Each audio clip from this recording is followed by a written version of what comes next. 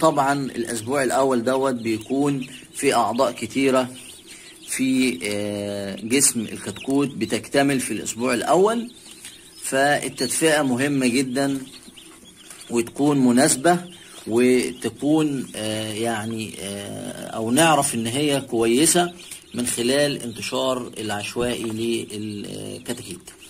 إن شاء الله هنتابع مع حضراتكم واحدة واحدة في حلقات آه، قادمة آه، التربية وايه اللي هنعمله للكتاكيت في الشتاء علشان الناس اللي بتخاف من تربية الكتاكيت في الشتاء يكون آه، يعني قلبها جامد وتبدأ تربي لأن طبعا يعني دورات الشتاء دورات كلها مربحة ولكن المشكلة في الفنيات ويعني التدفئة والتهوية.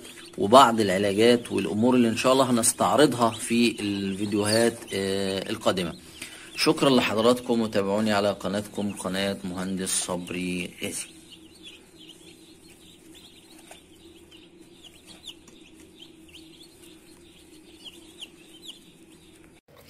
السلام عليكم ورحمة الله وبركاته. بنشوف المربي دوت آه، محضن ثلاث أنواع من الكتاكيت وهو الكتكوت البلدي المشعر والكتكوت البلدي الفيومي والساسو طبعا يا جماعة ممكن في الأيام الأولى أو في الأسبوع الأنواع البلدي ديت نحطها مع بعض وبعد كده نفصلهم عن بعض لأن الساسو آه، هم كلهم يعني من عائلة كبيرة واحدة. ولكن الساسو عايزين ده كتكوت تسمين عايزين نسمنه فهياكل علف بادي 23% لغاية 35 يوم. البلدي في ناس بتأكله 15 20 في ناس بتأكله شهر وتتخلط. وكمان كل كتكوت من دوت ليه صفات وليه طبع وليه خصائص وليه سلوك. فعلشان كده